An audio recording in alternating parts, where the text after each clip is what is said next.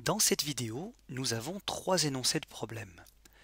Mais on ne va pas essayer de répondre aux questions, on va juste s'entraîner à écrire les équations qui, si on les résolvait, nous donneraient les réponses.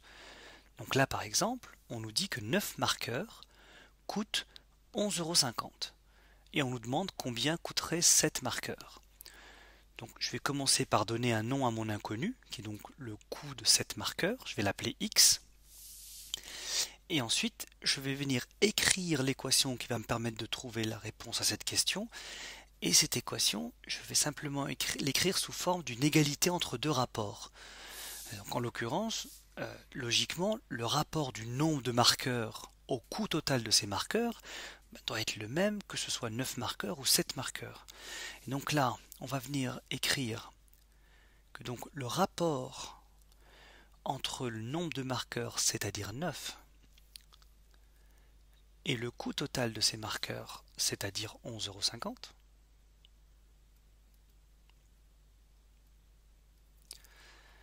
doit forcément être égal au nombre de marqueurs de l'autre côté, c'est-à-dire 7, hein, ici, sur le coût total de ces 7 marqueurs. Et là, en fait, c'est mon inconnu que j'ai appelé x. Donc maintenant, j'ai une égalité entre deux rapports. C'est une équation que je peux résoudre par exemple en faisant un produit en croix. Et ça, donc, tu le retrouveras dans d'autres vidéos. Euh, je vais quand même m'entraîner à écrire tous les rapports possibles qui peuvent répondre à cette question.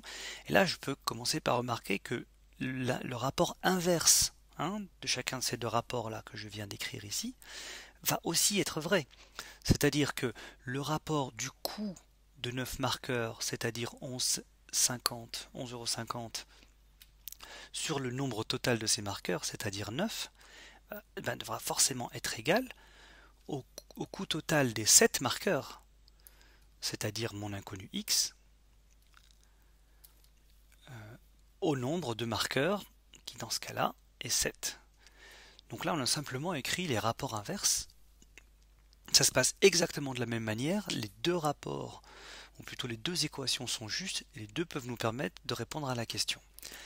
Donc on peut aussi écrire ces rapports d'une manière légèrement différente, en se disant que le rapport entre le nombre de marqueurs dans la première partie de la phrase et la seconde, donc le rapport entre 9 marqueurs et 7 marqueurs, ben, ce rapport doit forcément être égal au rapport du coût entre ces deux quantités. Donc au rapport du coût de 9 marqueurs qui est 11,50€ euh, au, coût de 7 marqueurs qui est donc x. donc ça c'est une autre manière d'écrire cette équation, d'écrire ce rapport.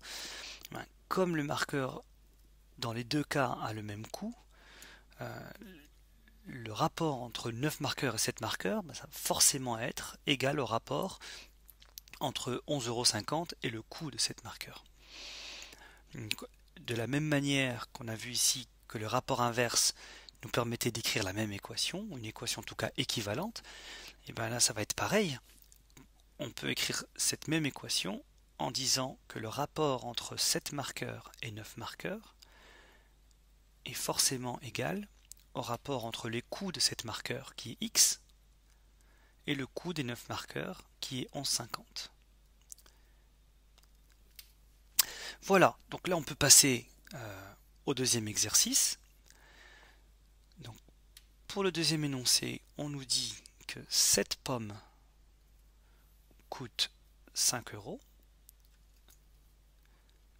et on nous demande combien de pommes, et là on peut tout de suite appeler ça x parce que hein, c'est notre inconnu.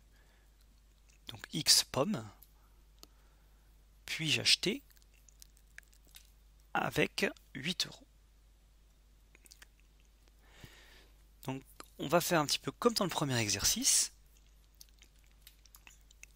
On va écrire que le rapport entre le nombre de pommes et le coût des pommes est constant. C'est-à-dire que le rapport entre 7 pommes et leur total qui est 5 euros. doit forcément être égal au rapport entre le nombre de pommes à trouver, hein, celui, celui que je cherche, qui est donc la x, à son coût total, et ce coût total, ben, c'est 8 euros. Donc, de la même manière qu'on a vu dans le premier énoncé qu'on pouvait écrire ces mêmes rapports en inversé, donc au lieu d'être 7 sur 5, c'est 5 sur 7, au lieu d'être x sur 8, c'est 8 sur x. Euh, donc on va pas forcément euh, écrire les rapports inversés, hein, parce qu'on a vu ça dans le premier exemple. Là, on va directement aller euh, écrire le, rapport un petit peu différemment, comme on l'avait fait dans le premier exercice là, à cet endroit-là. Ici. Donc on peut, au lieu de faire le rapport du nombre de pommes au coût des pommes, on peut simplement faire le rapport des deux nombres de pommes. C'est-à-dire que le rapport entre les nombres de pommes, dans le premier cas 7 et dans le second x doit logiquement être égal au rapport entre le coût total des 7 pommes, c'est-à-dire 5 euros, et au coût total des x pommes, qui est 8 euros. Donc encore une fois, on ne fait qu'écrire le fait que les pommes coûtent le même prix que j'en achète 7 ou que j'en achète x. Continuons avec le troisième exercice. On nous dit que la recette d'un gâteau pour 5 personnes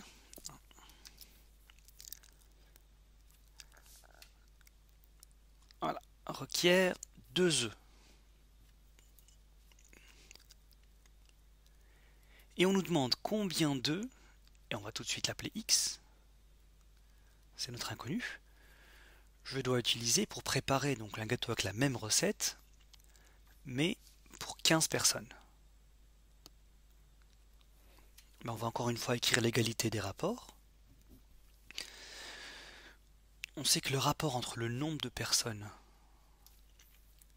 et le nombre d'œufs nécessaires pour faire un gâteau pour ces personnes-là, donc le nombre de personnes 5 et le nombre d'œufs 2, doit logiquement être égal au nombre de personnes de l'autre côté, donc 15 personnes, sur le nombre d'œufs que je dois utiliser pour faire ce gâteau pour 15 personnes, c'est-à-dire x.